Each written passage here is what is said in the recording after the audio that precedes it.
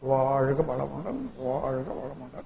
வையமெல்லாம் வாழட்டும் வாழ்க்கை நலம் காத்தினிதாய். வளரட்டும் மெய்யறிவு வாழ்க்கை என்பம் துத்தரிலே உய்யமை பொருள் நாட்டம் உலகெங்கும் மக்களிடம். ஓங்குக மேலோங்குகனும் உள்ள எல்லாம் ஒன்றுபட. வாழ்க வளமுடன் வாழ்க வளமுடன். அருட்பேராற்றல். உங்கள் அனைவருக்கும் இரவும் பகலும் எல்லா நேரத்திலும் எல்லா இடங்களிலும் எல்லா தொழில்களிலும் உறுதுணையாகவும் பாதுகாப்பாகவும் வழிநடத்தியாக அமையுமாக. வாழ்க வளமுடன் வாழ்க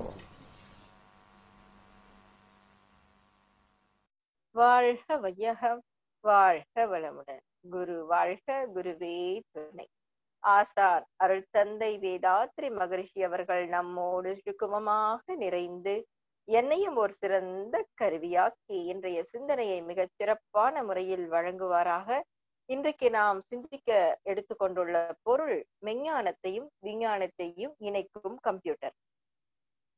இன்றைக்கு உலகெங்கும் மனிதன் தன்னோட செயல்பாடுகளுக்கு கம்ப்யூட்டரை தாங்க பயன்படுத்தி வர்றான்.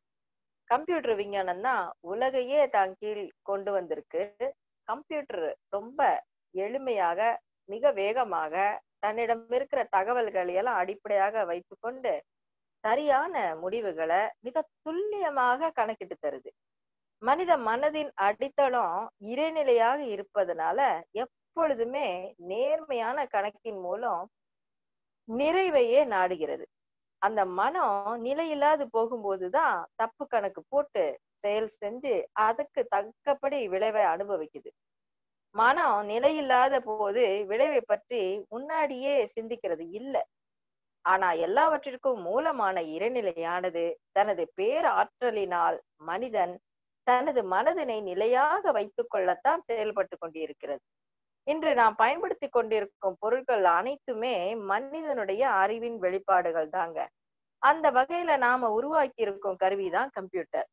ஆரம்ப காலத்துல மனிதர்கள் விளைவித்த பொருட்களை எல்லாம் ஒருத்தருக்கு ஒருத்தர் மாற்றிக்கொண்ட அந்த நிலைமையை மாற்றி நாணயத்தை பணத்தை பயன்படுத்த கற்றுக்கொண்டான். முதல்ல தங்கம் மற்றும் செம்பு காசுகளாக இருந்த பணம் பின்னாடி ஈயமாக இரும்பாக காகிதமாக மாறியது. இன்னைக்கு கிரெடிட் கார்டு முறையில பிளாஸ்டிக் பணமாக மாறி இருக்கு இப்போ பணம் கொடுக்கல் வாங்கலுக்கு கம்ப்யூட்டரை முழுமையாக பயன்படுத்த ஆரம்பிச்சிருக்கோம். இனி காகிதம் இல்லாத உலகம் உருவாக வாய்ப்பு இருக்கு.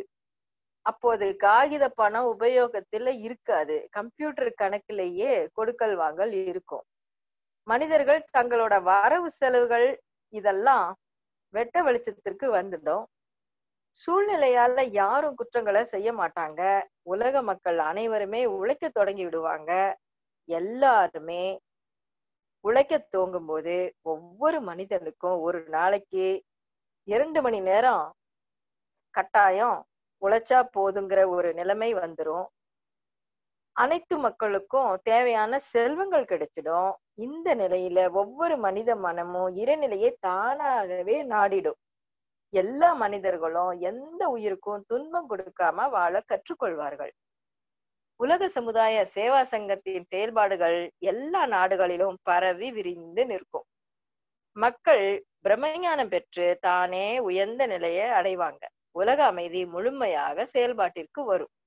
நமது நாட்டில பிறந்து வாழ்ந்த மகான்கள் சித்தர்கள் தத்துவ ஞானத்தையும் மெஞ்ஞானத்தையும் விளக்கி உலக அரங்கிலேயே பெரிய நிலைக்கு நமது நாட்டை கொண்டு சென்றார்கள்.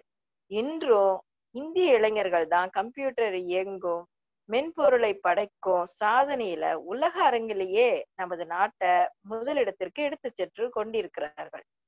இளைஞர்களுக்கெல்லாம் இறையருளும் ஆசியும் வாழ்த்தும் எப்பொழுதும் கிடைத்து கொண்டே இருக்குமாக. இவையெல்லாம் அருள் தந்தை அன்றைக்கு தீர்க்க தரிசனமாக கணித்து சொன்ன விஷயங்கள். இன்றைக்கு நாம ஏன் இதை மீண்டும் சிந்திக்கிறோம்னா நம் கருமயத்துல இக்கருத்துக்களை எல்லாம் ஆணித்தரமாக நம்ம மேலும் மேலும் அழுத்த பதிவாக்கி கொண்டு இருக்கும்போது பிரபஞ்ச காந்தத்திலும் வான்காந்த சக்தியிலும் மேலும் மேலும் அழுத்த பதிவாகிவிடும் இவையெல்லாம் மிக விரைவில் செயல்பாட்டிற்கு வர வேண்டும் என்ற சிந்தனையில் தான் இந்த கருத்தை இன்றைக்கு நான் பதிவிட்டுக் கொண்டிருக்கிறேன். அன்பர்கள் அனைவருக்கும் மிக்க நன்றி.